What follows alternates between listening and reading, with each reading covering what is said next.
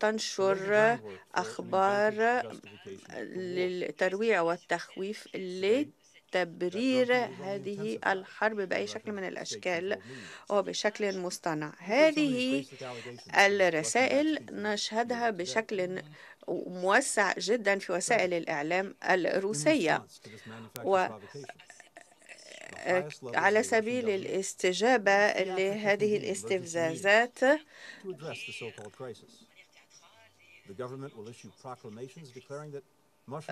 قد يجرون لهذه الاستجابة.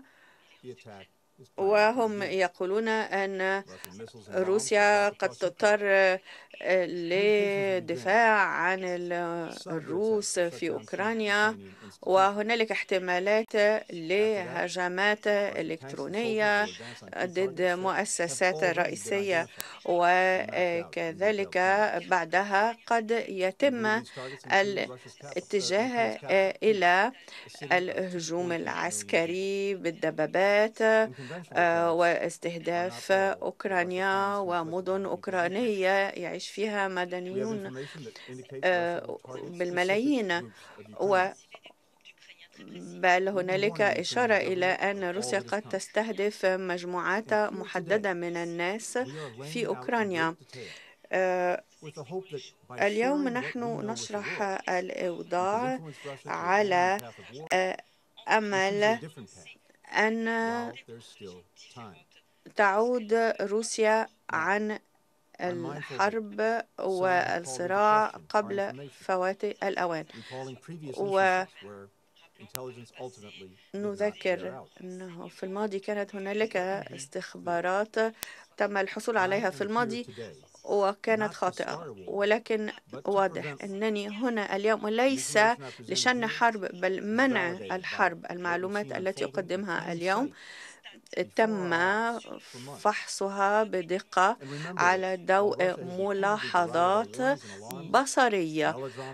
لمجريات الأوضاع على الأرض. و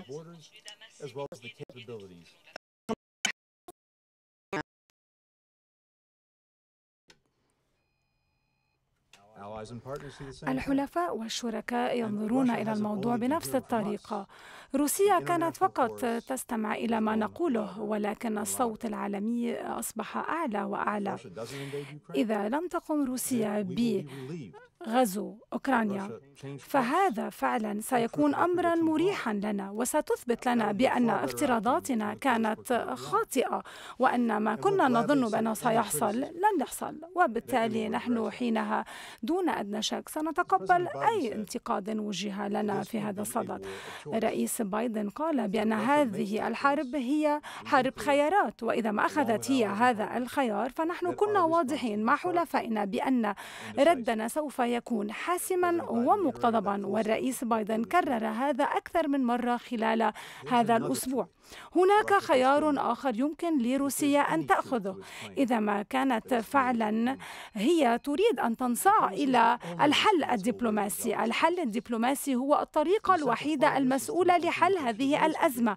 ولا بد من تطبيق اتفاقيات ميسك وهذا هو فحوى الموضوع اليوم. إن أوكرانيا وروسيا أخذت التزامات وفقا لاتفاقيات مينسك ومع وبالتالي فهم عليهم الالتزام بتلك التعهدات فإذا ما كانت روسيا مستعدة للجلوس والتواصل وفعلا العمل مع الحكومة الأوكرانية على إيجاد الحل. فبالتالي زملائنا وأصدقائنا وحتى شركائنا في ألمانيا مستعدون لحل هذه المسائل المرتبطة بمثلا نورد ستريم 2 نحن جميعا مستعدون لدعم الأطراف لإيجاد الحلول الدبلوماسية.